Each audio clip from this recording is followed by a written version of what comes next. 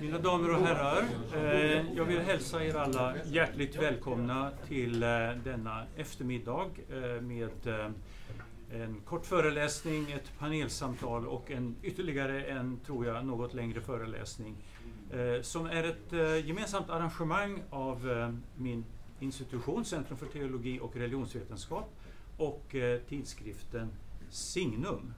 Eh, och ni som är här vet alla ungefär vad det kommer att röra sig om, för ni har sett eh, affischen eller på annat sätt fått, eh, fått veta om det här evenemanget.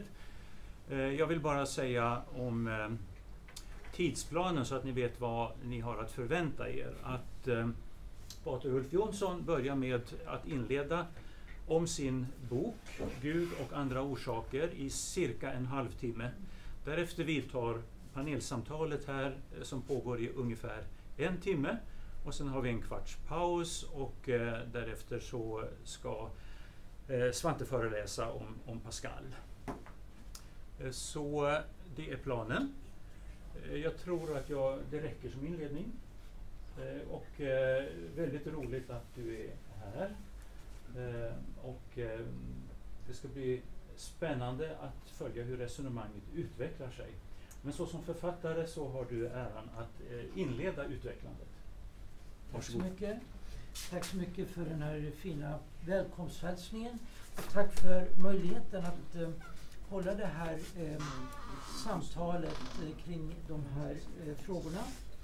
Eh, jag kan ju berätta lite sådär bakgrunden till det hela också. Eh, redan när jag var doktorand eh, för många, många år sedan i Uppsala så eh, så brukar jag fråga eh, forskarkollegor så där, vad är orsaken för någonting? Och det, var, det vanliga svaret var att jag har ingen aning. Och så frågade jag, men spelar inte orsaken någon roll i din forskning? Och då eh, menade de flesta att på något sätt gjorde det väl det, men de hade inte sysslat med det. Och eh, så är det ju naturligtvis för de allra flesta som håller på och forskar inom något speciellt område. Eh, att, eh, eh ja, man antar att eh, orsaker är relevanta men man eh, har inte ägnat sig mycket åt det. Om man inte råkar vara filosof och ägna sig åt vetenskapsteori och metafysik och så, då kan man ha ägnat sig åt frågor om kausalitet, vad orsaker är för någonting och eh, eh, eh, olika teorier om, om kausala samband. Eh, jag gav ut den här boken då ehm, eh, i eh, november eh, på Fri Tanke förlag, Gud och andra orsaker. Och det är lite frukten av ett eh, internationellt forskningsprojekt som jag deltog i under några år eh, kring kausalitet. Och eh, jag upptäckte att eh, det här är ett väldigt spännande område. Vad jag har gjort det är att i den här boken dels ge lite historisk bakgrund till eh, de diskussioner som nu förs bland vissa religionsfilosofer eh, kring de här frågorna. Ehm, och ehm, jag har eh, då också presenterat den teori som vi i vår arbetsgrupp jobbade med när det gäller kausalitet, nämligen den dispositionalistiska teorin om eh, kausalitet. Och sen har jag eh, lagt fram också mitt eget bidrag i den här forskargruppen, nämligen vissa implikationer eh, på eh, teologins område, hur man kan tänka sig att den här synen på kausalitet skulle kunna få implikationer teologiskt. Så det är det som jag kommer att berätta om nu. Den första delen är lite mer historisk. Eh, Den andra delen är en kort presentation av dispositionalismen och den tredje en kort eh, överblick över några implikationer då, som jag själv har dragit av det här. Man kan säga att eh, eh, från slutet av 1600-talet, det är ganska långa tidsspann vi pratar om här, eh, från slutet av 1600-talet så började folk i Europa eh, tvivla på att Gud eh, handlar i världen, att Gud intervenerar i världen. Före eh, den- tiden var det en väldigt ovanlig uppfattning, eller det fanns nog knappast någon som hade en uppfattning om att Gud inte intervenerade i världen. Eh, men de allra första skeptikerna vad gäller det eh, dyker upp alldeles mot slutet av 1600-talet.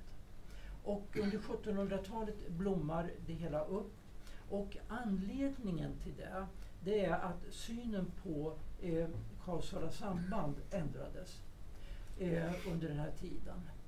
Och eh, det är invävt också i hur naturvetenskaperna växer fram och hur man resonerar om orsaker i naturvetenskapliga sammanhang. Så det, det finns den här liksom, eh, sambandet här. Eh, man kan säga att det är ett, inte minst tänkare som Newton och Descartes som kom att påverka synen på eh, orsakssamband på ett sätt som fick starka mm, implikationer för teologin. Och man brukar tala om mekanism och determinism i de här eh, sammanhangen. Eh, nämligen att eh, orsaker och eh, deras verkningar eh, de fungerar eh, som i ett eh, mekaniskt system. Och eh, att tanken att verkningarna är förutsägbara är väldigt viktigt. Och det har att göra med att man tänker sig världen som en, ja, så att säga analogt som ett slags mekaniskt urverk eller sådär. Då kan man ju förutsäga hur eh, saker och ting kommer att utvecklas eftersom eh, de kausala relationerna är deterministiska i det här systemet. Det, kugghjulen så att säga kuggar i varandra och man kan förutsäga vad som kommer att hända. Det var väldigt önskvärt därför att den nya naturvetenskapen den var inte bara så att säga en, en, ett teoretiskt eh, eh engagemang. Den var också väldigt kopplad eh, till mm, framtagandet av ny teknik. Och då ville man bygga maskiner och då deras, så att säga, vad de skulle få för output ville man ju kunna förutsäga. Annars var de inte till så att säga, någon stor hjälp. Så därför var tanken på determinism i det här då framväxande eh, eh bilden av hur världen fungerar väldigt eh, central. Man tänkte sig också eh, mer och mer under upplysningstiden under 1700-talet eh, att eh, hela det här fantastiska systemet det eh, var styrt av eh, naturlagar som var deterministiska.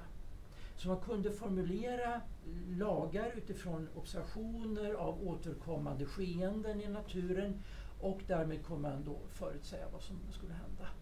Vi fick eh, Eh, eh, eh, den franske upplysningstänkaren Laplace är väldigt eh, känd med hans uppfattning om att känner man bara till alla lagar och tillståndet, så att säga, alla fakta hur det ser ut, så kan man räkna ut hela framtiden. Och Gud behövs inte.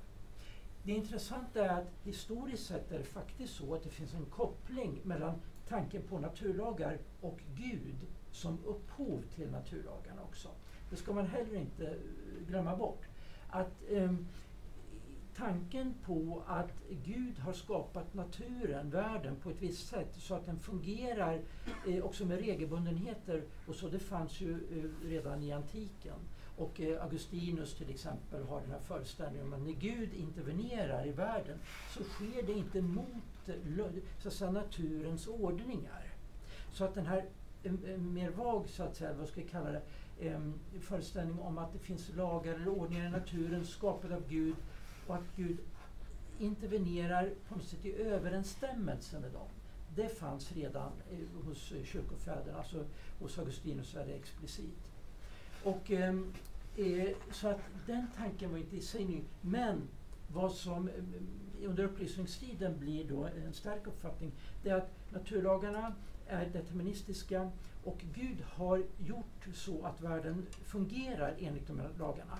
Men Gud har därmed pensionerat sig själv. Därför Gud kan inte gripa in i världen eh, om den är deterministisk på det här sättet. Så var tanken.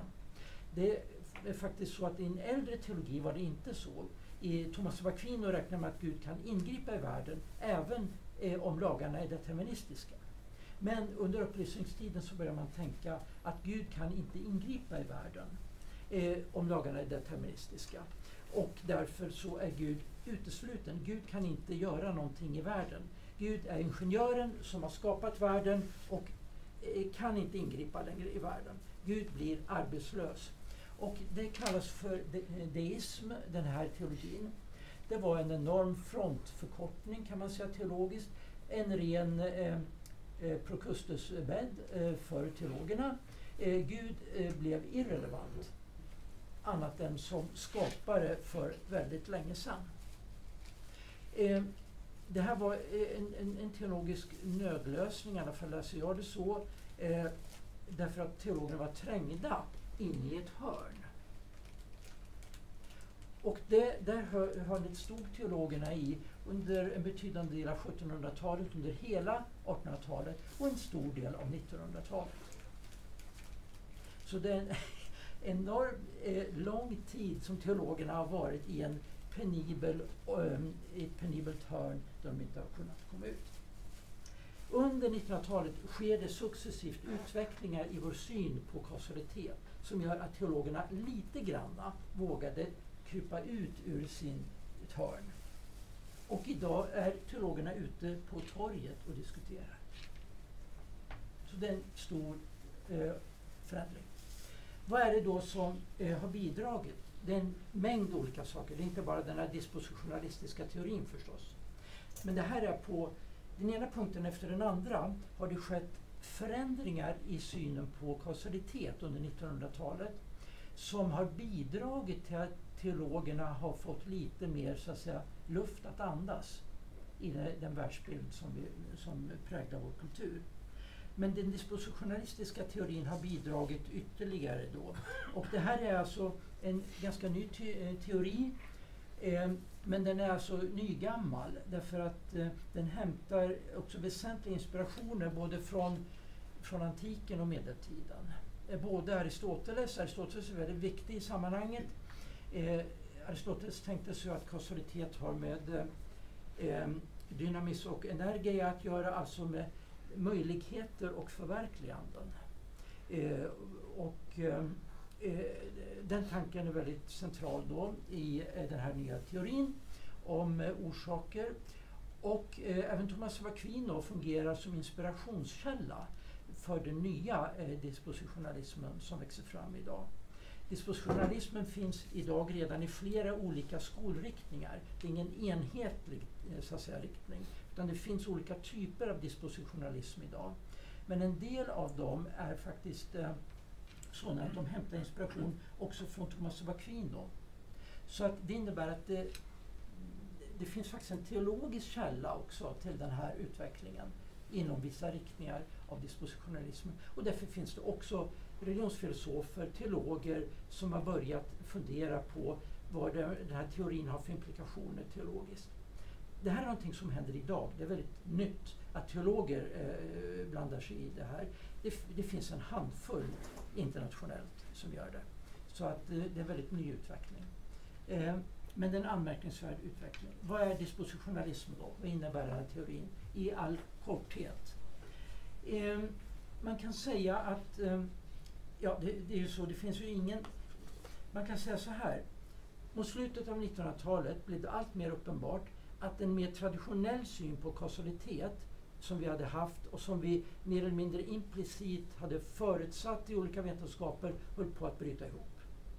Eh, det var mycket diskussioner om determinism, egentligen sedan länge, redan 1930-talet eller så började de där diskussionerna. Ehm, men även andra eh, saker som gjorde att man mot slutet av 1900-talet börjar ifrågasätta viktiga element i en mer traditionell syn på kausalitet. Eh, eh Georg Henry von Wright till exempel var redan ute på 70-talet och argumenterade för att vi bör ta in finalorsaker igen och intentionalitet i vetenskapliga förklaringar. Vilket absolut inte passade in i det som man hade allmänt antagit då. Intentionalitet inte kausal och eh, finalorsaker hör inte hemma inom vetenskapen det håller idag på att revideras eh, verkligen. Ehm, och eh, dispositionalismen har då snabbat på den här utvecklingen och dragit ut den mer till sina liksom, eh, längre konsekvenser. Vad är enligt eh, dispositionalismen orsaker? Jo, orsaker det är egenskaper hos ting som är kausalt verksamma. Och man talar om dem som kausala krafter Ehm, och de är alltid riktade på något sätt. Det, det betyder eh, dispositionalismen har en essentialistisk syn på kausalitet. Kausalitet eh, är eh, alltså orsaker existerar i meningen eh, oberoende av oss människor. Eh, sen finns det naturligtvis mänsklig kausalitet förstås också. Men i princip är det så att man tänker essentialistiskt. Orsaker finns. De är konkreta egenskaper, förmågor hos ting. Och de har vissa speciella verkningar. En orsak är så att säga inte eh, en en, eh, otskrivet blad. En orsak har en riktning. Och det gör också att eh, orsaker kan inte ge upphov till vad som helst utan det finns så att säga en ram inom vilken en orsak kan vara eh, verksam.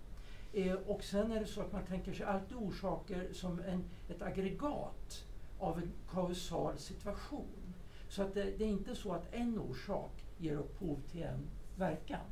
Det är snarare en slags eh, holistisk bild av kausalitet där orsaker och verkningar ömsesidigt hela tiden påverkar varandra och uppnår en slags ekvilibrium, en slags jämvikt. Och jämvikten är eh, verkan av orsakerna.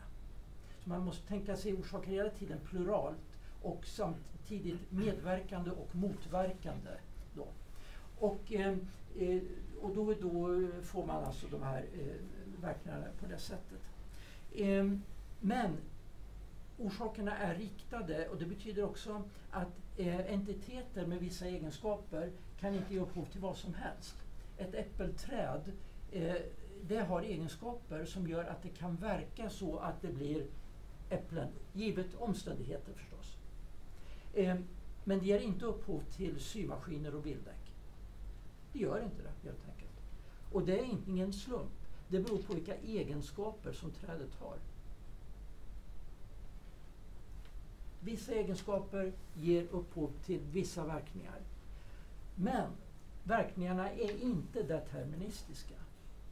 Och eh, två av de mest framstående eh, forskarna när det gäller dispositionalismen, eh, eh Lil Lill Anjum och Stephen Mumford, eh, de, eh, de eh, har formulerat det elegant i ett citat, jag tror jag kan det utan till man ska aldrig säga att en verkan beror på en orsak, alltså en orsak. Utan man ska säga att på sin höjd eh, är det så att ett konglomerat av orsaker tenderar att ge upphov till en viss verkan. Aldrig mer. Det vill säga probabilism. Det är inte determinism. Orsaker verkar bara probabilistiskt. Vilket innebär att utfallet av en kausal situation är mer eller mindre sannolik. Men aldrig definitivt förutsägbar. Eh, sen är det naturligtvis så i praktiken att det finns de här looparna av eh, kausala skeenden i naturen som återkommer, återkommer, återkommer. Och sannolikheten för att det blir så, så nästa gång är oerhört hög. Så man kan ha en, en, en sannolikhet som är alltså, så långt över 99 procent. Långt över. Så att, eh, men man kommer aldrig till 100 procent. Därför att det kan alltid finnas kausala faktorer som ingriper, intervenerar och gör att ehm, eh, utfallet blir eh, annat än vad man hade räknat med. Och, eh, så dispositionalister menar att de här eh, det som till synes är deterministiskt, det handlar om så kallade ceteris paribus eh, eh, klausul eh, effekter. Alltså det är kontrollerade system. När vi gör experiment då, som är väldigt kontrollerade, då kan man få så att säga, en kausal situation som är väldigt avskalad. Men så ser det inte ut i naturen så att säga. Eh, utan där finns det alltid faktorer som som kommer in och som gör att utfallet av en medicinsk behandling inte blir samma hos alla patienter, etc. etc. Så, eh, och slutsatsen är att det finns inga naturlagar. Det finns inte naturlagar i den här gamla eh, meningen. Utan vad som finns är probabilism, sannolikheten för utfall. Eh, det är det vi har. Ehm, och dessutom är kausala relationer inte asymmetriska. Och det här är en favoritidé eh, som har funnits med länge. Den har varit, eh, inte minst från David Hume, men eh, många andra har haft den här tanken att kausala relationer alltid är asymmetriska. De är temporalt asymmetriska och de är bara ensidiga. Och båda där eh, kritiserar dispositionalisterna då. Um, ja, det är lite kort om vad dispositionalismen... Jag ska bara titta att det inte är något väldigt centralt som jag har... Ja, jo, en sak är väldigt viktig också. Eh, enligt dispositionalisterna är orsaker, ska eh, orsaker inte förstås univokt. Det vill säga, det finns olika typer av orsaker. Det var nämligen så under upplysningstiden så gick man eh, mer och mer eh, till att uppfatta orsaker som att det bara finns en typ av orsaker. Vet, hos Aristoteles fanns det fyra typer av orsaker och så vidare. Också på medeltiden räknar man med olika typer av orsaker. Men under 1700-talet kommer man att uppfatta orsaker helt univokt. Det finns bara en typ av orsaker, nämligen de fysiska eh, efficienta orsakerna. Det som är, kan bli fysiska krafter eller så. Eh, och det är eh, den här teorin emot. Det finns många olika typer av orsaker. Det finns inte bara Eh, för att säga det så, det finns inte bara de fyra natur, fysiska naturkrafterna. Det här kommer Jakob att korrigera mig om. Det finns en massa andra krafter också i fysiken. Men, eh, eh, men eh, alltså, idén om att det finns bara i grunden en typ av orsaker, den eh, har man gett upp inom dispositionalismen. Det finns många typer av orsaker. Och orsaker kan vara, en person kan vara en orsak det finns internationalitet, medvetande som orsak. Fastän det är något man diskuterar bland dispositionalisterna. Många dispositionalister är reduktionistiska fysikalister.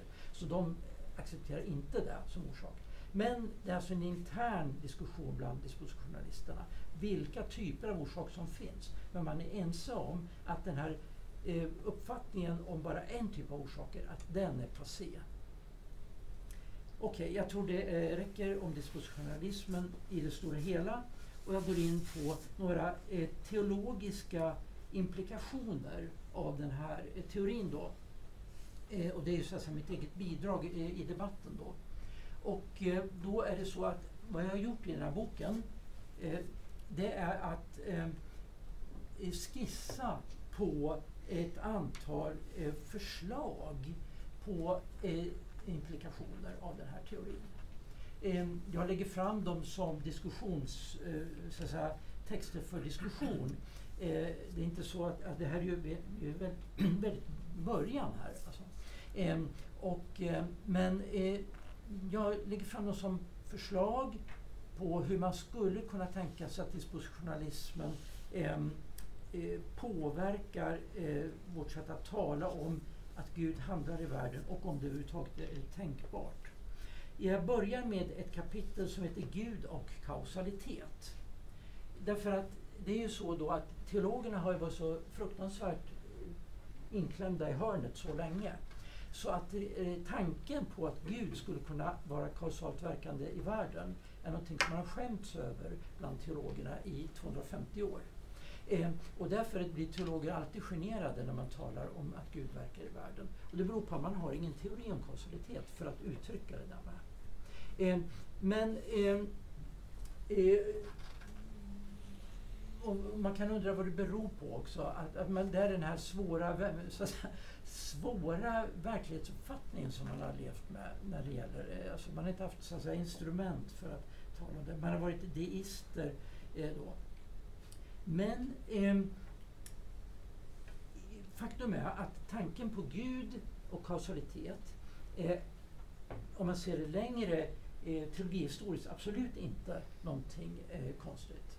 Utan det är tvärtom så. Om ni går till Thomas av Aquino på 1200-talet så talar han med fullständig självklarhet om att Gud är en orsak. Fullständigt självklart. Och Eh, jag, eh, jag, ni hittar i fotnoter och sådär litteratur eh, där jag visar att tanken på att Gud är kausal, kausalt verk, som att man kallar Gud för en orsak, är absolut en standarduppfattning i äldre teologi.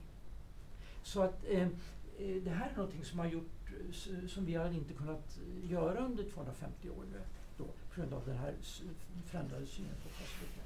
Men i äldre tider har det absolut varit okontroversiellt Eh, att tala om Gud som orsak. Ehm, och då ehm, eh, går jag igenom lite granna här eh, hur man kan tänka sig Gud som orsak. Och ehm, en,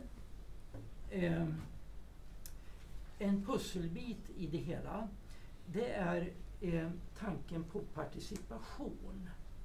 Om man går tillbaka till Thomas av Aquino så är det så att han menar att Gud är orsak och skapar orsaker i världen.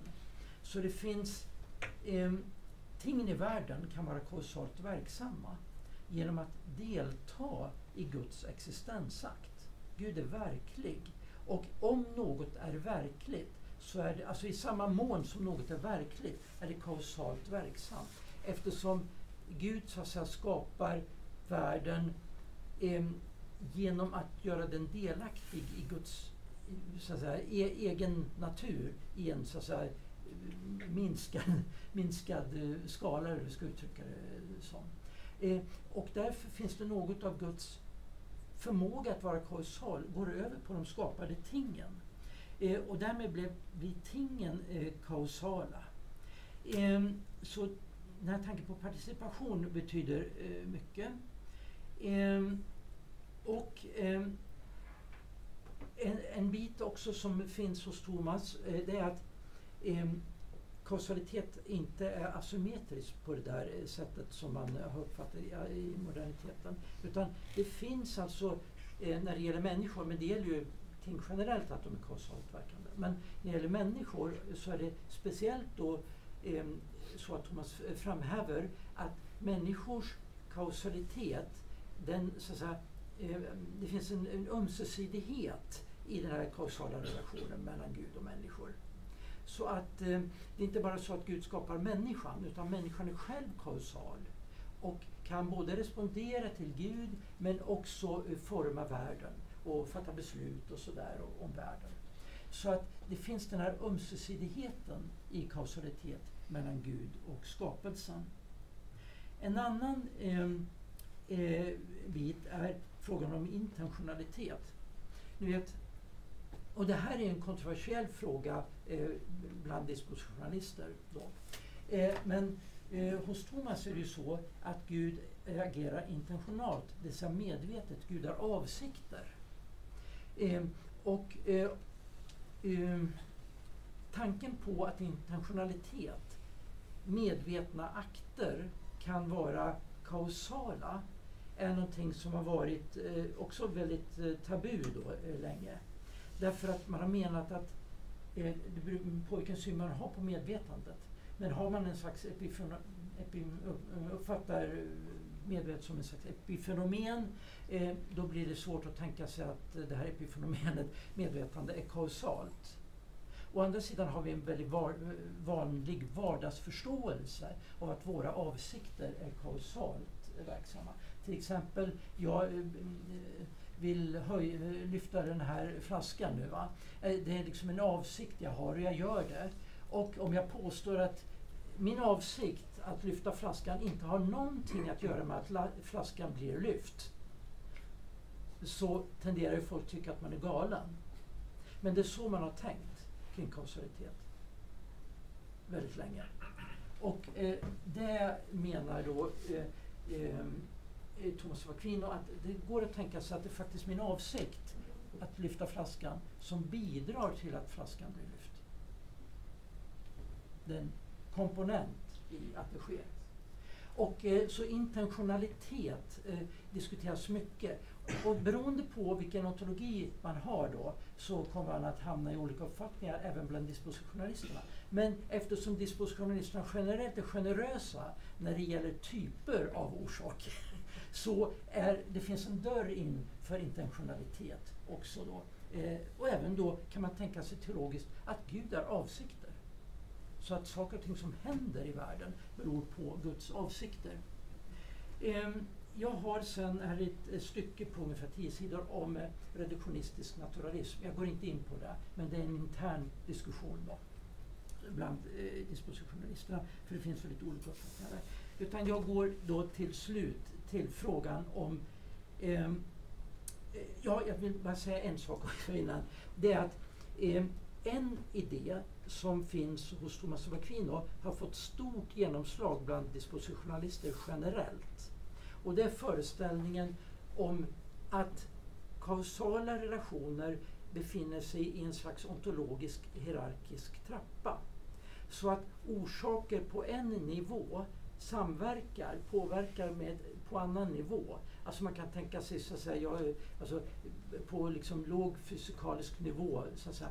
Det som händer där har på något sätt följder på eh, makronivå och så vidare. Det, det är liksom inte eh, helt löskopplat utan det påverkar på olika nivåer. Och så tänker sig också Thomas av Aquino. Han tänker sig att Gud är den yttersta eh, primärorsaken. Men världen är full av orsaker som då kallas sekundära orsaker. Och de har också ett stort mått av självständighet kausalt. Så de kan agera eh, så att säga, relativt fritt men inte helt obundet. Helt, inte helt oberoende av Gud ytterst. Och den idén att eh, kausalitet funkar på så sätt i levels så att säga är också väldigt populär bland dispositionalister. Och ehm, eh, hur kan man då tänka sig att Gud intervenerar i världen? Eh, efter David Hume och eh, eh deismens eh, intåg så fanns det länge eh, uppfattningen om att om Gud intervenerar i världen så måste det vara i form av mirakler. Antingen gör Gud mirakler eller Gud intervenerar inte i världen. Det var också en ny uppfattning, så hade man absolut inte tänkt äldre tider. Man hade tänkt att det mesta som Gud gör, det är väl vanliga grejer. Se till att det, vattnet går att dricka och eh, eh, det blir nya dagar. Och, eh, liksom, det, det, är det här vanliga liksom, som går på. Det är det Gud gör. Och så finns det där med mirakler. Och det är väl något som händer någon gång. Men det var inte det man associerade till. Men vad som händer efter Hume, det är att Gud bara blir ansvarig för mirakler.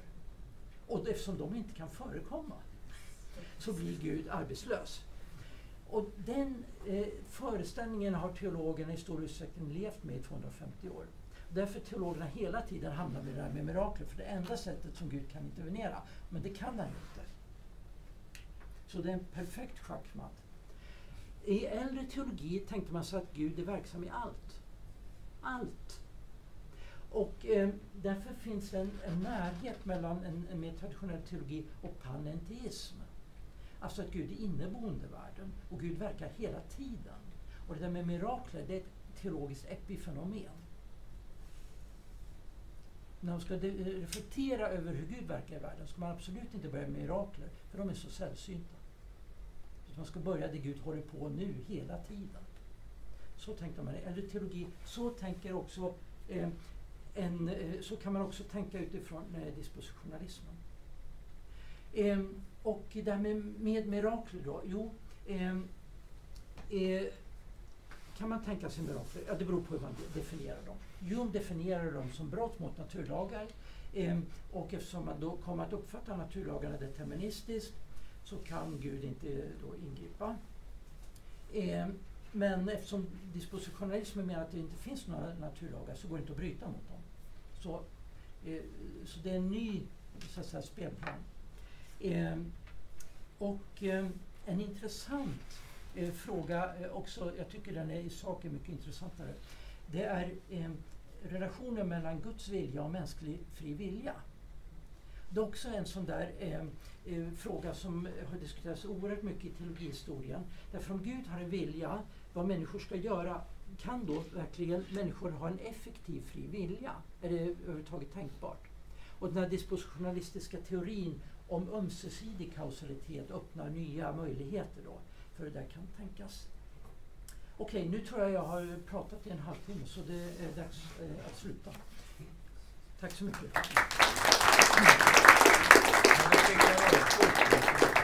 Så ja, då ska vi ha en eh, stunds samtal. Eh, jag glömde presentera mig. Jag heter Stefan Borgehammar. Eh, och, eh, vi har en panel här som eh, består av eh, Johannes Persson som är professor i filosofi. Jag har faktiskt glömt om det är teoretiskt eller praktiskt. spelar ingen roll, men det är teoretisk. Det är teoretisk fysik. Det var vad jag misstänkte, men jag vågade inte chansa. Och sen har vi Svante Nordin som är professor i idé och lärdomshistoria. Och sen har vi Jakob Löndahl som är lektor vid eh, Lunds tekniska högskola. Och jag har läst någonting om din forskning, men jag vet inte vad ditt ämne heter. Ja, jag håller på med eh, aerosolteknologi. Inandade partiklar är specifikt vad jag forskar på. Ja. Eh, och sen har vi föredragshållaren Ulf Jonsson och ni är alla så varmt välkomna. Jag tänkte vi skulle kunna börja med eh, eh, lite spontana reaktioner på Ulfs bok men jag kanske ställer någon typ av, av ledande fråga så att säga. Om jag börjar med eh, Johannes. Är, eh, hur pass eh, etablerade är, är de här teorierna? Är, eller för att uttrycka det på ett annat sätt, är Ulfs bok kontroversiell inom filosofi?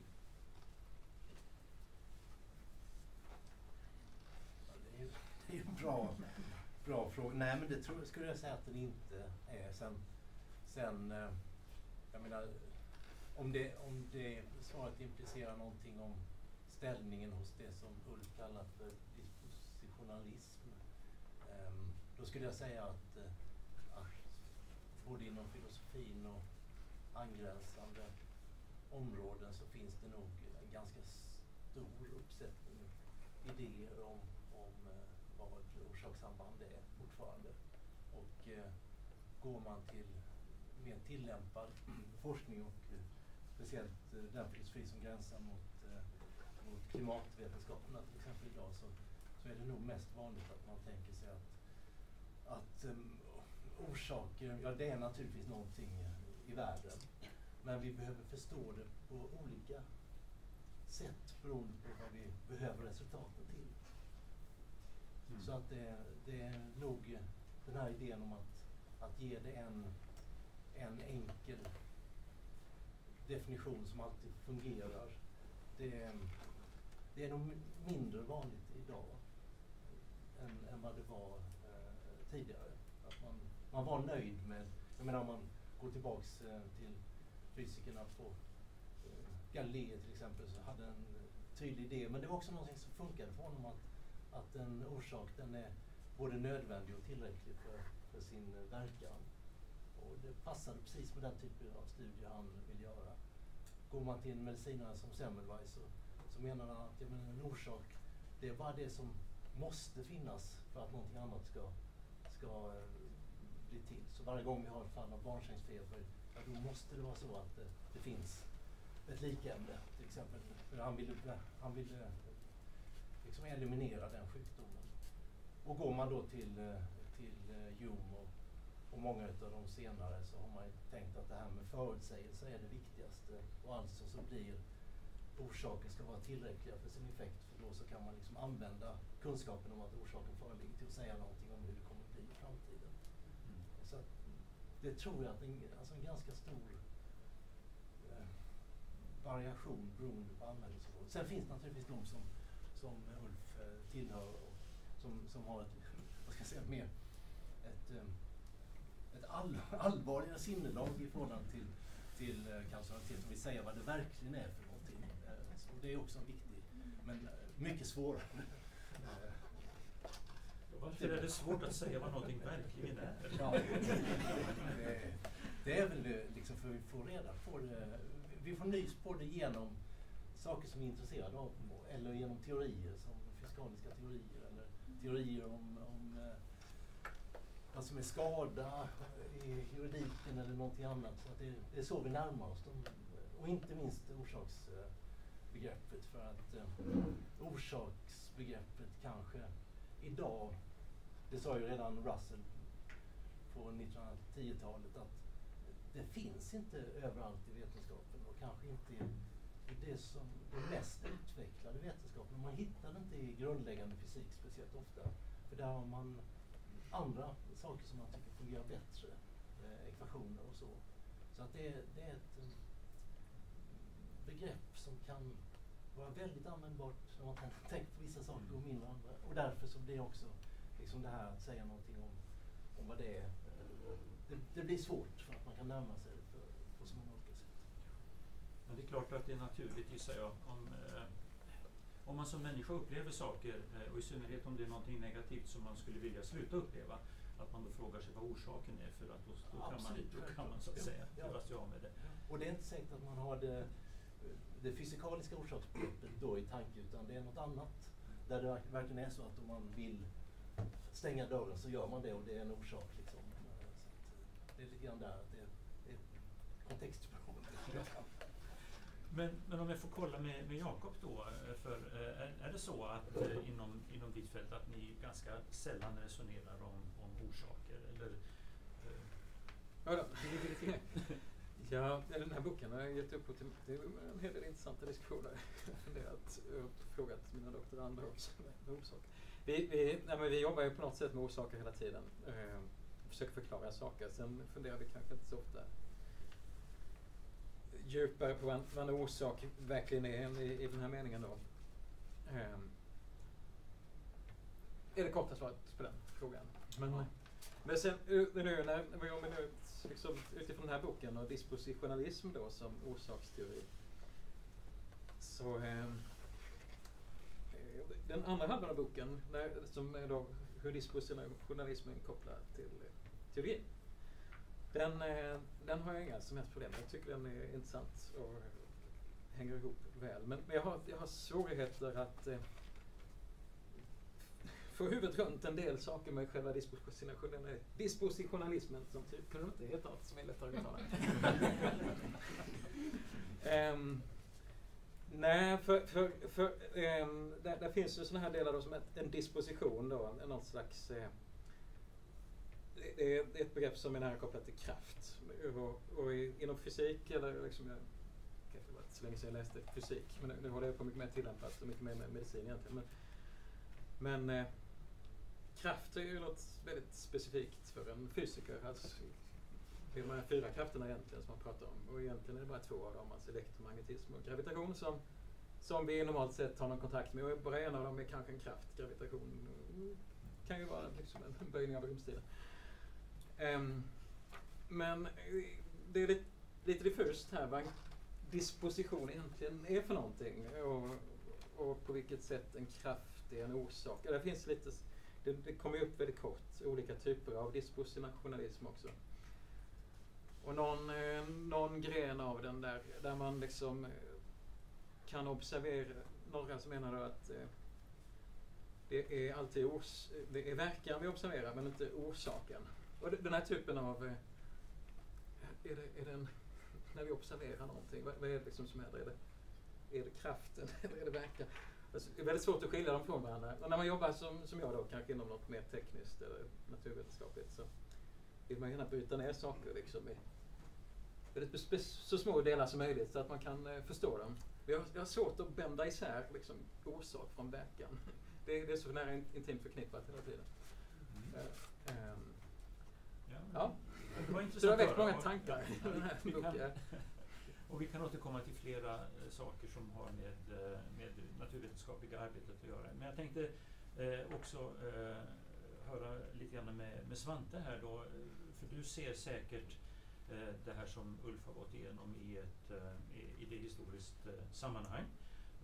Och om, om du får resonera fritt i, i kring det, är, är det här några eh, oväntade tankegångar eller har det förekommit tidigare? Eller vill du kanske säga någonting om, om eh, uppkomsten utav eh, mer mekanistiska resonemang i historien? Jag överlåter åt dig hur du reagerar på, på Nej, men- det här resonemanget. Ja. Detta är en debatt som förs mycket, som Ulf var inne på, under 1600-talet.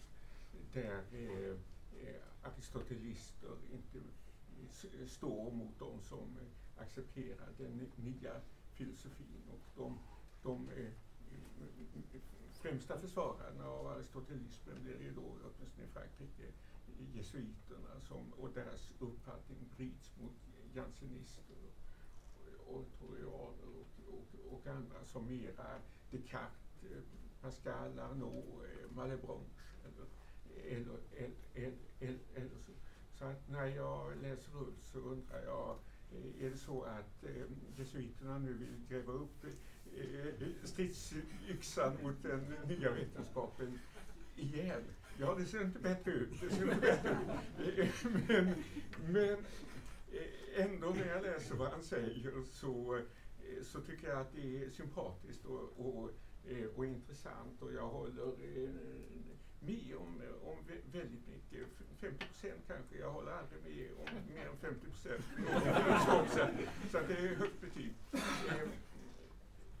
Och då uppfattar jag det som du och dina meningsfränder vill göra inte som en revolution eller en kontrarevolution i naturvetenskapen utan snarare i tolkningen av naturvetenskapen. Eh, alltså det handlar om orsak, det, det, handlar om hur ska man förstå de, de, de här begreppen, hur ska man filosofiskt eh, tolka dem. Du är ju inte själv naturvetare utan du är religionsfilosof och jag, jag tolkar din, din ambition eh, så. Och då, då kan man ju säga att ett moment som jag håller väldigt mycket med om i detta är alltså ifrågasättandet av det som, eh, som brukar kallas den, eh, den hypotetiskt deduktiva förklaringsmodellen. Alltså att man, att, man, eh, att man uppfattar en orsak som att en orsaksförklaring går ut på att man visar eh, att man har en heltäckande lag som säger att, eh, eh, eh att eh, all, alla fenomen som tillhör en viss kategori tillhör också en annan kategori. Och sen säger man då att ja, men det här föreliggande fenomenet eh, tillhör kategori A och följaktligen måste det tillhöra kategori B för, för att förenkla det hela. Det är liksom den hypotetiskt deduktiva förklaringsmodellen som, som också ibland kallas Cavarillo-modell. Och det är klart att den har ju kritiserats, du nämnde von Wright, ehm, du, du nämner boken Elisabeth Anscombe, man kan tänka på William Drey och, eh, och andra.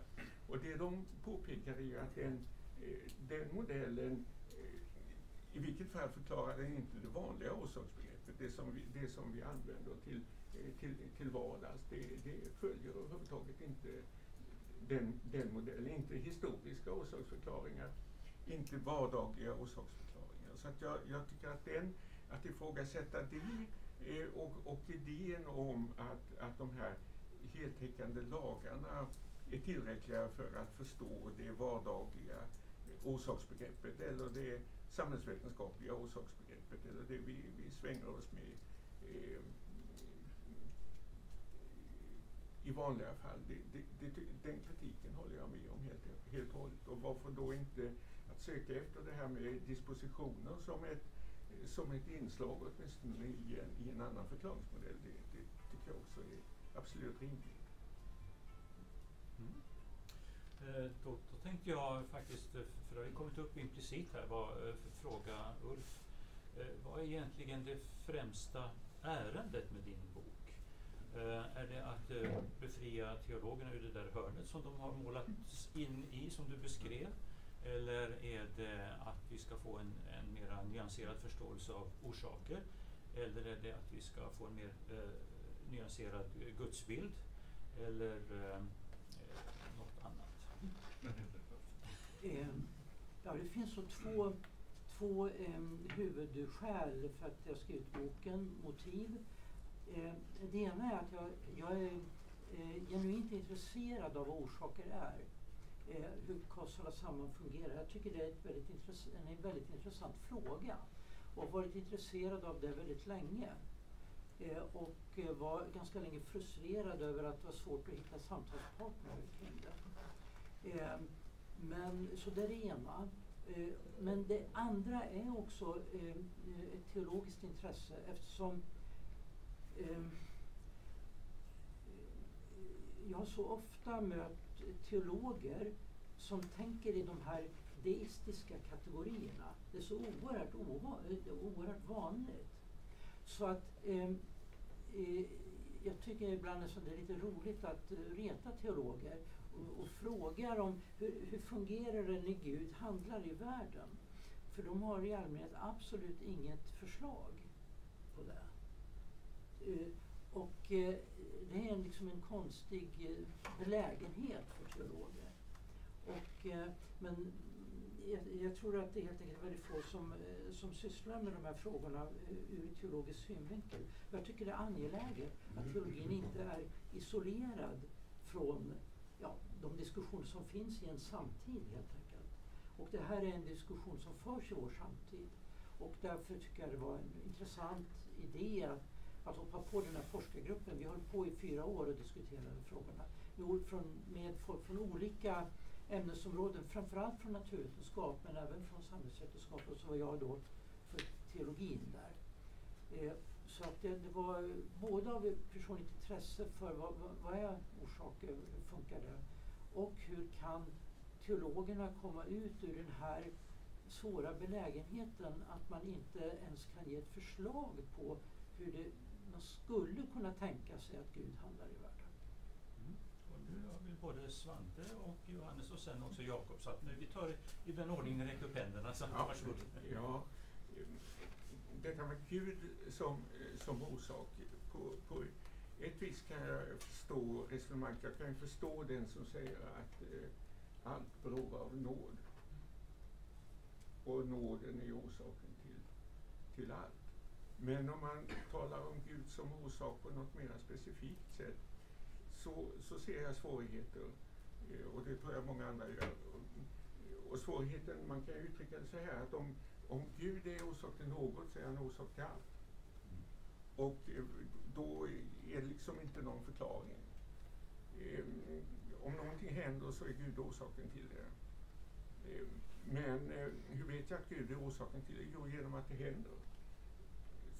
Så att det, det hjälper mig inte runt, så att säga. Jag vet att vad, vad som än händer så är Gud orsaken. Men, men det, det, det, är lite tomt på något vis. Det, det går inte att... Eh, och, ehm, eh, du kan inte göra förutsägelser.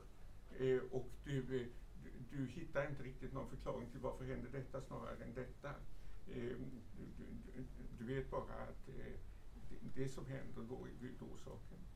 Eh, och, och, den där tomheten där i, det, det, tror jag var en del av det som eh, som sysselsatte den eller, eller besvärade den här nya vetenskapen. Man hade inte någon stor svårighet egentligen i att säga att Gud är, är orsak till världen, till att upprätthålla världen, upprätthåller naturlagarna.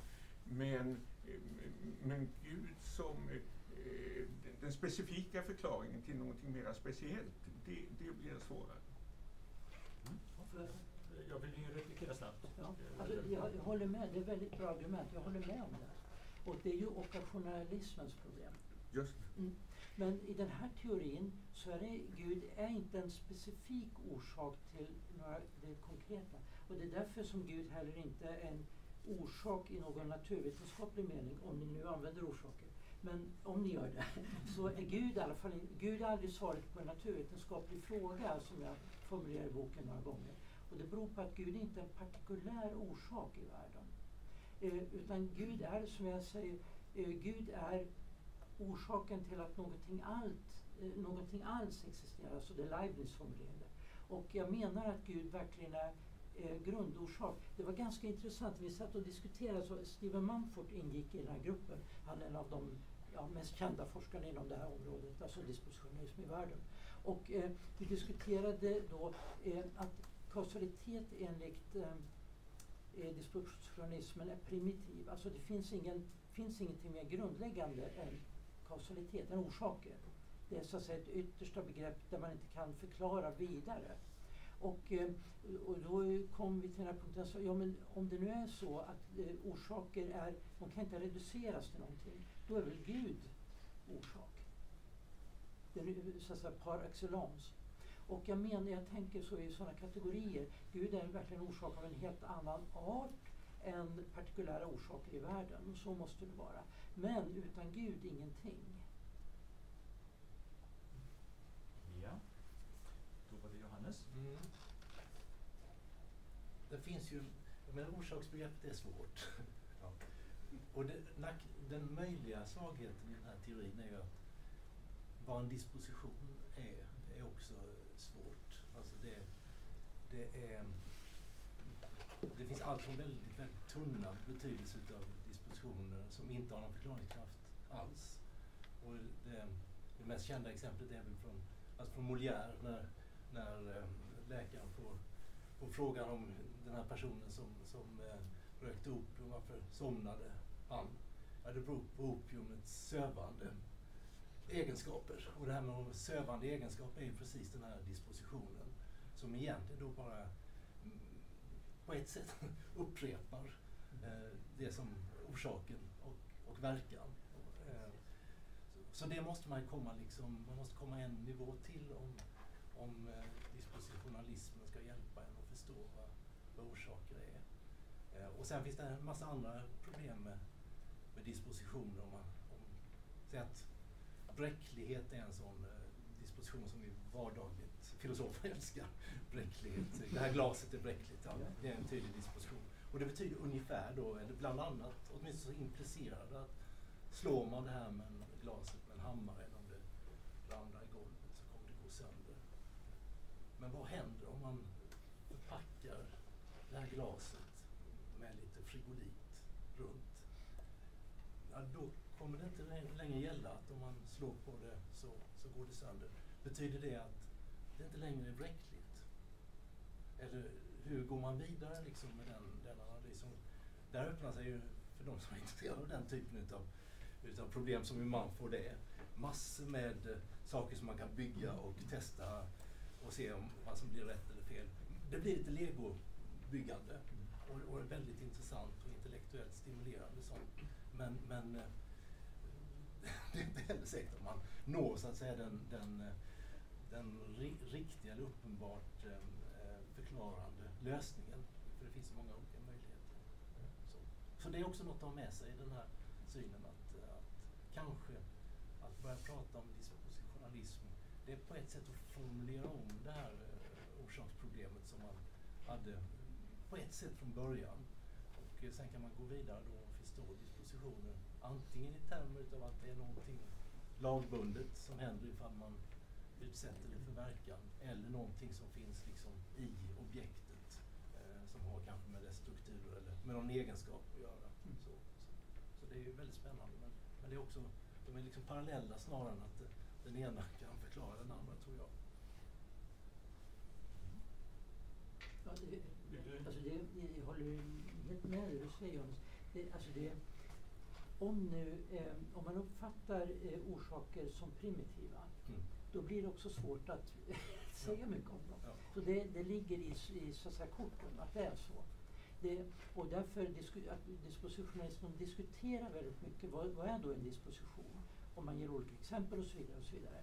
Och, man, och det finns problem om man bygger på och sådär. Och det är så diskussionen går. Mm. Och det har att göra med att det, ett, det uppfattas som ett så primitivt begrepp också att man, det är svårt att förklara mer. Så att säga.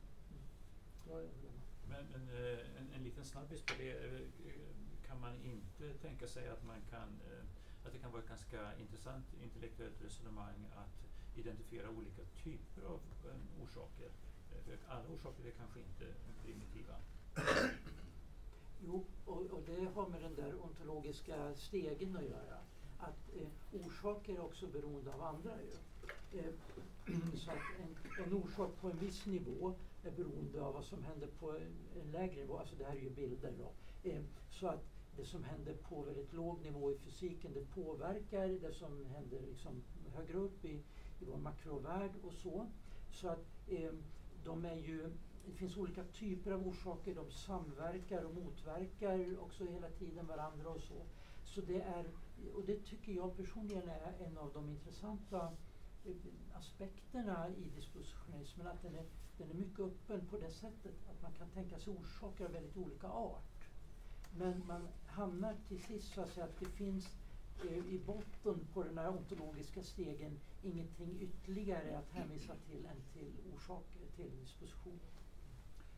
Eh, sen var det Jakob och det, ni, ni, är alla väldigt artiga, det är ingen som faller den andra i talet. Vi, vi får se hur pass angelägen diskussionen blir när vi har hållit på ett tag. Men Jakob, är det din tur? Ja, det, jag tänkte säga, för, jag tänkte börja med att fortsätta på lite det som Johannes tog upp här och som jag också funderade över innan. Jag, jag, har, jag har lite svårt att förstå det här med eh, vad en disposition är. Och, och, eh, och eh, för att det, i, i den här begreppsbildningen eller teoribildningen så eh, tänker man sig dispositionen som någonting som är en, liksom en inneboende egenskap hos olika typer av objekt.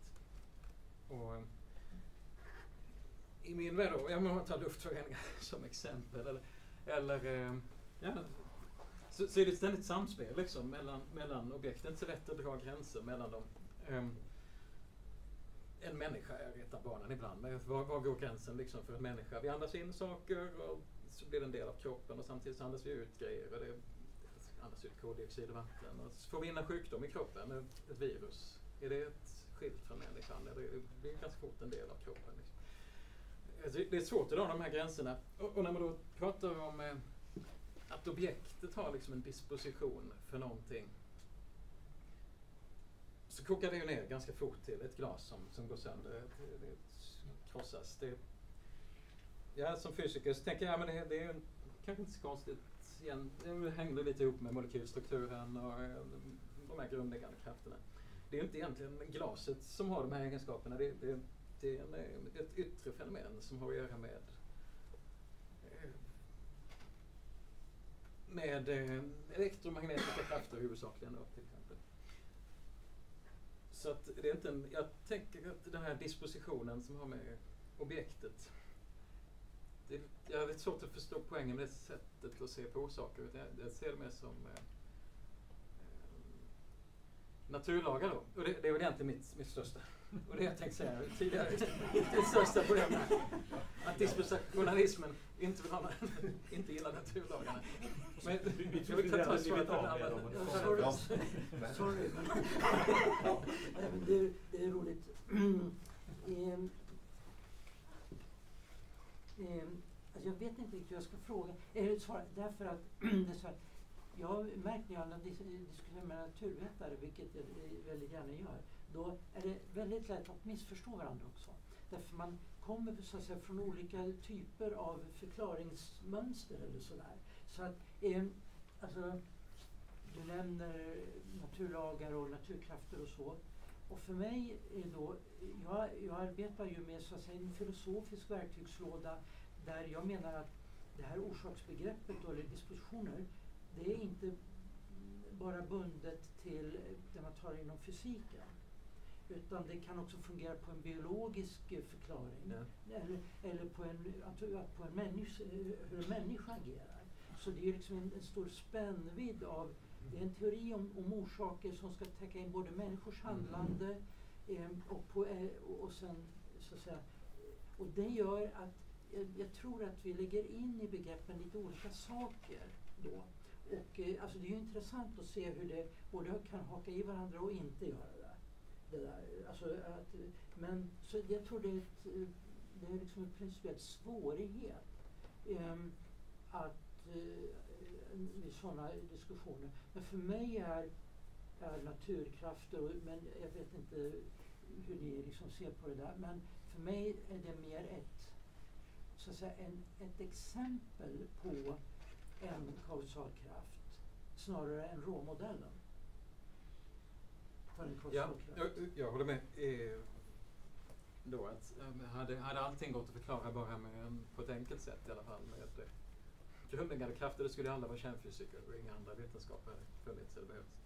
Så, så, när man liksom ökar, tar man, eh, även om allting bara kanske består av några enstaka elementarpartiklar, så fort man lägger ihop dem tillkommer liksom massa egenskaper som gör att man behöver helt andra typer av förklaringar. Och då tillkommer ju de andra ämnena, liksom kemi och sen biologi på det och medicin. Men det betyder ju inte att, eh, att det inte i grunden eh, så finns några naturlagar som är generella. Vad, vad dispositionalisterna har svårigheter med det är inte att det finns återkommande regelbundenheter i naturen. Det är uppenbart att det är. Det förnekar man inte. Och man kan göra en teori om det också. Varför finns det återkommande eh, regelbundenheter i, sådär, i händelseförlopp och sådär? Och man kan också kalla det naturlagar. Vad de har svårt med det är själva determinismen. Att utfallet alltid ja. är förutsägbart. Men det är egentligen någonting som ju ni också har gett upp sedan länge. Att utfallet alltid är förutsägbart. Ja, precis. Jag pratar alldeles för mycket. nej, men, och, förstår ja. Det är det som är problemet. Jag, jag har också stora problem med determinism. Och men jag tänker inte att den... Eh, Den försvann, eller det fanns i alla fall en möjlighet att ta bort den med kvantmekaniken. Alltså man, man kan ju mycket väl tolka kvantmekaniken som att, och många gör ju det, Köpenhamnstolkningen brukar man väl kalla det, som att, att det är en grundläggande egenskap hos naturen, alltså själva naturlagarna, att, att eh, saker och ting är i grunden probabilistiska. Att det finns saker, ett radioaktivt sönderfall. Det finns ingen, finns ingen förklaring till när det sker. Alltså helt plötsligt händer det. Det, det finns inga dolda liksom, orsaker utan det, det är probabilistiskt helt och hållet. Och de här små, eh, liksom, probabilit, en väldigt grundläggande då, då osannolikheten eller sannolikheterna, de, de får liksom ganska fort konsekvenser även i stora system. Så man behöver inte bli eh, dispositionalist bara för att man eh, vill ge upp determinismen så att säga, utan det finns andra sätt att göra. Så det, men däremot om man är det så är det, det är liksom lätt att, att hantera båda möjligheterna, både determinism och, och probabilism i ett dispositionalistiskt, eh, i en sån ontologi. Men, Mm. men det gör det också lite svårt att liksom argumentera för att det är där man måste hamna snarare än i, i någon annan förståelse. Nej, det håller jag absolut med om. Det finns, det finns eh, olika sätt, men, men inom dispositionalismen så finns det där elementet. Och eh, sen, sen är det väl egentligen mer en smakfråga om man vill fortsätta att kalla det naturlagar eller inte. Alltså att det finns beskrivningar av regelbundenheter och man kan ställa upp liksom eh, eh, det, teorier för det. Det är, det är okontroversiellt. Svante har velat komma in en längre tid. Jo, nej men det- dels vill jag säga någonting där till, till Johannes som, som nämner Molière Just det. eh, och den inbillade sjuke Ja. Och virtus dormitiva, alltså den sömningivande förmågan. Och då driver ju Molière med, med precis de här aristotelikerna.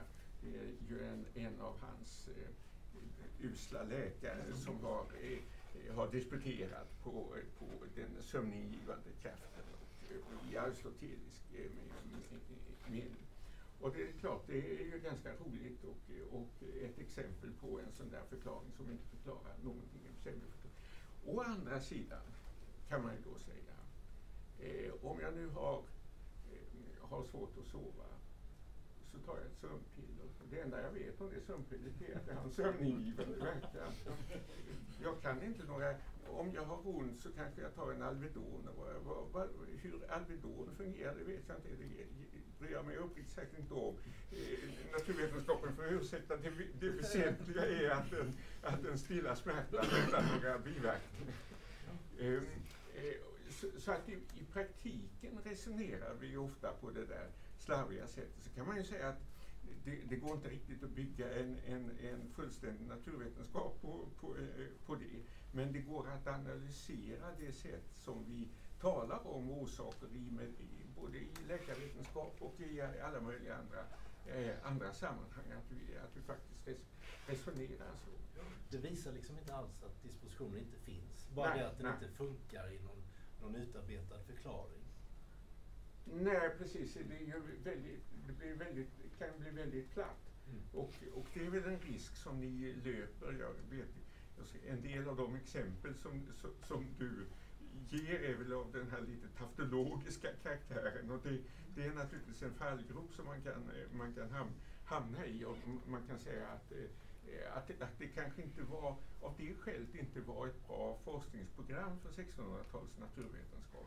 Alltså att man, man, sökte, man letade efter de här naturlagarna för att eh, kom, komma förbi eh, de, de mera kraftologiska formuleringarna. Man, man sökte sig till djupare skikt eller hur man nu...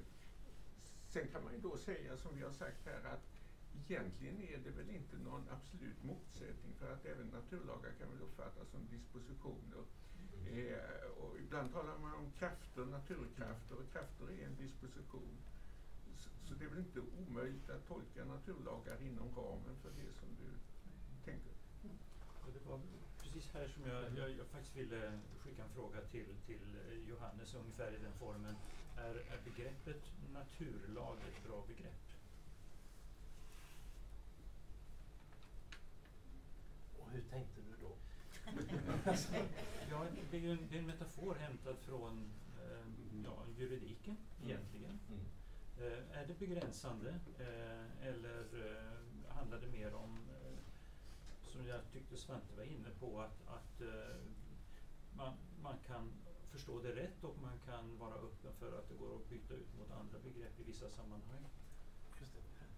Nej, men det kan, jag tror Svante kan eh, svara bättre. Men, men man kan säga att det finns ju väldigt många ehm, analyser av nat vad naturlagar är, inklusive till exempel Dave Jones, Mm. som, som eh, många sedan har tyckt att ja, men det fångar inte, det är inte tillräckligt, eh, det är inte vad lagbundenhet är, det är bara liksom en, en regularitet. Mm. Så att eh, det är klart att, att lagbegreppet på något sätt eh, förpliktigar till att det ska vara ett beroendeförhållande mellan dem. Men det är klart att den uppenbara konnotationen har att göra med att, att det liksom på något sätt skulle förbjuda eh, något Mm. annat. Och det, det är väl liksom analogi där. Som, Mm. Jakob ville kommentera detta och sen Svante också. Ja, yes. vad naturlag är, det, det det jag på. Är väl med skopor på kanske, men, men eh, så, som min förståelse av naturlagar är så, så tänker jag att eh, det finns något beroendeförhållande mellan ska vi säga, materien, det vi upplever, och naturlagarna. Och, och eh, som jag tänker matematiken, om jag börjar där. Den är ju, eh, jag inbillar mig att den är oberoende av universum i någon mening. Att det, den, eh, man skulle kunna sätta den på en högre ontologisk nivå. Naturlagarna ser jag som en, en delmängd av matematiken. De, de går ju att formulera matematiskt. Um, och, eh, och, och vårt universum, alltså det vi lever i, upp, verkligheten, den, den är en delmängd av, av naturlagarna på något sätt. Naturlagarna hade kunnat åstadkomma ett annat universum också under andra förhållanden. Så det hade kunnat finnas mer massa i universum och så hade vi fått med samma naturlagar något helt annat. Ehm, så, så därför men så därför tänker jag mig att naturlagarna eh, finns på en lite högre ontologisk nivå då, än, eh, verkligheten. Och, och det rent, om man nu kopplar det till eh, min teologiska förståelse så tänker jag nog att naturlagarna på något sätt eh, verkligheten börjar där på något sätt. Universum är en konsekvens av naturlagarna snarare än tvärtom. Om man nu ska tala om naturlagar som orsak. Och, och där tänker jag också rent teologiskt då att, att eh, här kommer kristen tro, eh, liksom, finns formulerat i liksom, Johannes evangeliet eh, när Gud eh, formulerar ordet på något sätt. Så, eh, det är där det börjar, liksom, och sen kommer världen. Um, att det, och, och det är lite en utgångspunkt sen kanske för eh, Ja, men jag tror att det, kristendomen bidrog kanske där också till den utvecklingen av modern vetenskap. Den här idén om att det finns någon regelbundenhet. Gör det inte det så är ju liksom, i alla fall fysiken meningslös. Um, och det, där bidrog kristendom, tänker jag, med ett ganska viktigt tankegods. Att eh, okej, det finns någon slags lagenhet. Det finns en gud som har formulerat det här då. Och eh, det är meningsfullt liksom att bedriva vetenskap eftersom det finns regelbundenheter. Så det jag studerar i labbet, det kommer någon annan att hitta samma sak i sitt labb i en annan del av världen i en annan tid också. För att eh, det är samma lagar som gäller. Och det har ju varit en ganska framgångsrik strategi. Eh, Ja. Ja. Tack.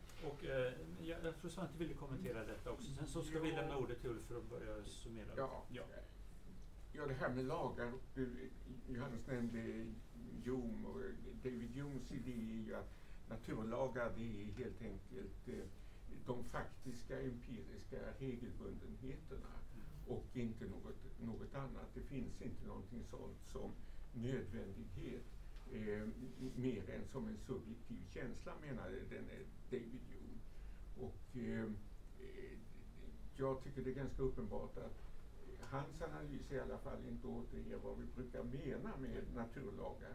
För att vi lägger in i naturlagar att det finns en nödvändighet i någon, någon mening. Och det innebär också att vi tror att naturlagar kan ligga till grund till exempel för kontrafaktiska eh, påståenden. Eh, om, om du sysslar med utandning och inandning så kanske du gör upp modeller för hur det skulle kunna vara. Du resonerar om möjliga världar. Eh, och, och det är ju en väldigt viktig användning av naturvetenskap att man att man eh, li, liksom simulerar möjligheter som man sen undviker och som finns där bara kontrafaktiskt. Och det där går inte ihop med Jons sätt att se på saken utan men, men det går ihop med det vardagliga, att vi, att vi tänker oss att, att lagar är, har en sorts nödvändighet på något sätt. Och då, då tycker jag, kan fråga Ulf om, om man uppfattar naturlagar på det viset så, så finns det ju någon sorts dispositionalitet i, i ett sådant lagbegrepp. Trots allt, det kanske inte är så oförenligt. Ja, nej, alltså eh, jag tror det är, eh, och det är ofta så att man upptäcker sådana saker, man diskuterar med varandra, att eh, ett, ett visst begrepp används på lite olika sätt. Och vad det är som gör att dispositionister är så kritiska mot naturlagar, det är en alldeles speciell förståelse av naturlagar. Mm. Men det är inte det att, att varje sätt att förstå naturlagar skulle vara liksom, alltså, som man avvisar. Jag håller med om att man kan också eh, kombinera förståelser av naturlagar med dispositionalism. Jag, jag, jag tänker, om, man, om man tänker sig naturlagar som en slags ja, dispositioner, eh, egenskaper som återkommer i, i, i, eh, alltså att universum är funtat på ett visst sätt. Så de här egenskaperna som är nedlagda i tingen, de svarar mot de här regelbundenheterna och så vidare. Så jag tror nog man kan, man kan ha det. Men vad man, vad man Eh, då inte vill ha det är det som faktiskt kom in under upplysningstiden som Laplace och så. Eh, där man tänkte sig att naturlagarna är av den arten att man kan eh, förutsäga allt. Och det var verkligen den idén han hade. Allt kan förutsägas. Och det innebär till exempel, det får ju stora konsekvenser också för människosynen för en del. För att om en människa, en människas handlingar och val i princip, i praktiken men i princip förutsägbara, då eh, får vi en väldigt annorlunda syn på människor än om vi räknar med att människor har möjlighet att välja så eller så. Eh, så att det blir en väldigt annorlunda värld att leva i och en annan syn på människan om man är konsekvent. Eh, och det är det som dispositionalisterna eh, vänder sig emot. Eh, den uppfattningen av lagar. Men däremot är det ju sant också, precis som du var inne på, sant också, eh, formuleringen av naturlagar var, var ju ett svar dels på eh, en otydlighet i vad, vad man menar med dispositioner. Eh, och det här med den här virtus dormitiva eh, exemplen. Eh, och eh, det var också en försök att få någonting tydligare, så att, säga, att lägga in än, en, de här, en begreppet dispositioner. Eh, så att jag tror man försökte lösa det på det och, och det blev så att med tiden kom föreställningar om kausala dispositioner och deterministiska naturlagar att stå mot varandra. Det var så eh, de, debatten utvecklades. Och det är en reaktion på den debatten som de här teorierna har formulerats. Jag, alltså, jag tänker att man, eh, dispositionalismen, jag, jag sympatiserar med stora delar av teoribygget men just den här biten är lite svårt.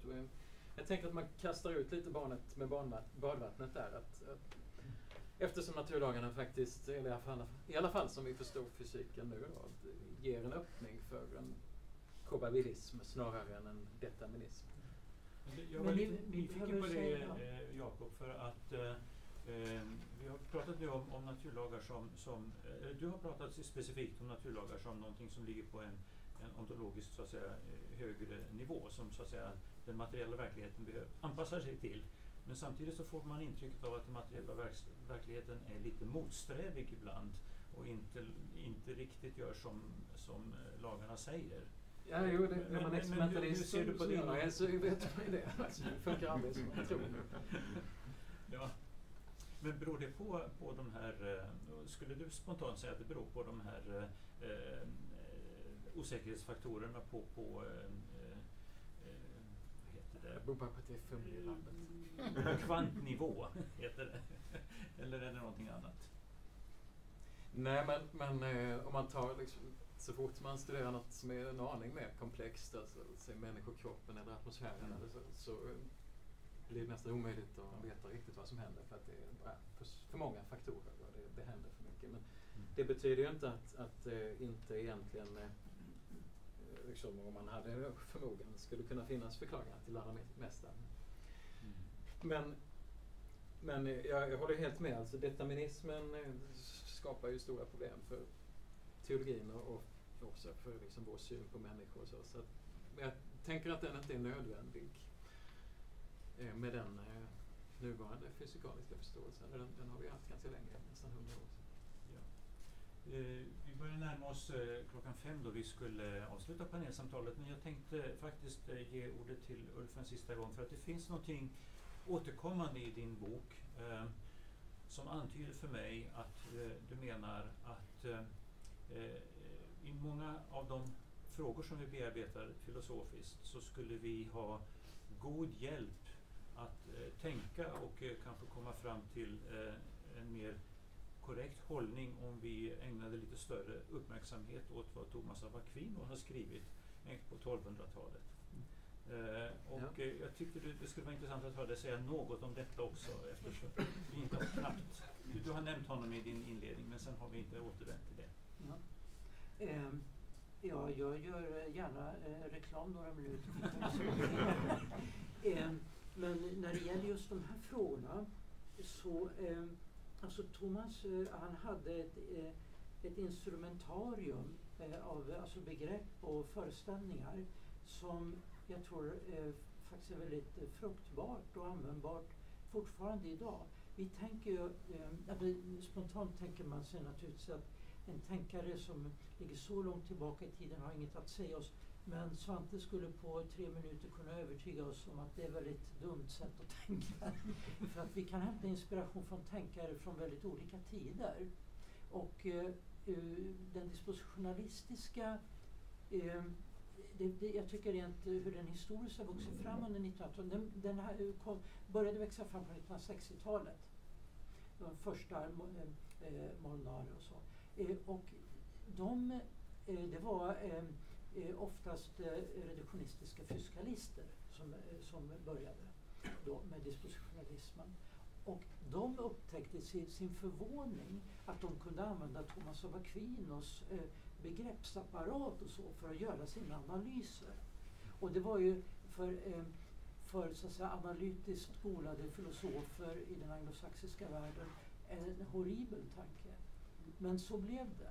De kunde använda den här begreppsapparaten för det fanns distinktioner där som, hade gått, eh, ja, som inte hade förts vidare helt enkelt. Eh, och som, eh, så att Thomas av Aquino har till exempel den här övertygelsen om att, eh, eh att det finns eh, eh, nivåer, ontologiska nivåer när det gäller orsaker och att eh, orsaker snarare, det handlar snarare om ett ekvilibrium. Inte en orsak som ger upphov till en verkan utan det är ett så att säga, sammelsurium av orsaker och, eh, som eh, samverkar och motverkar. Den tanken finns hos Thomas. Och det var en väldigt bra bild eller tankemodell så att, säga, att använda för dispositionalisterna. Så att faktum är att, och, och Thomas talar uttryckligen om eh, dispositioner. Han använder själva begreppet. Och han har det som en översättning från eh, Aristoteles. Alltså, eh, eh, dynamison en, eh, energia. Eh, alltså potentialitet och aktualitet. Och han översätter det här som disposition. Eh, eh och, eh, så att han har ett rikt differentierat, en rik differentierad begreppsapparat där han eh, reflekterar över kausalitet, vilket Thomas gör mycket faktiskt. Alltså vi tänker oss Thomas som bara en teolog så att säga. Men Thomas eh, reflekterade mycket också över filosofiska frågor och inte minst över kausalitet. Och han hade de här instrumenten som eh, ja, sen kom att eh, hamna i, liksom i bakvattnet. Och det betyder ju inte att vi går tillbaka till 1200-talets sätt att tänka om kausalitet. Men vissa distinktioner för vi tillbaka som är nyttiga också i, i den värld och det tid vi lever i. Fastän vi naturligtvis på många sätt och vis har en helt annan världsbild. Men vissa distinktioner är, är användbara fortfarande. Mm. Eh, och eh, eftersom du är författaren till boken så låter vi det vara de sista orden i samtalet. Eh, tack så hemskt mycket alla fyra som har deltagit.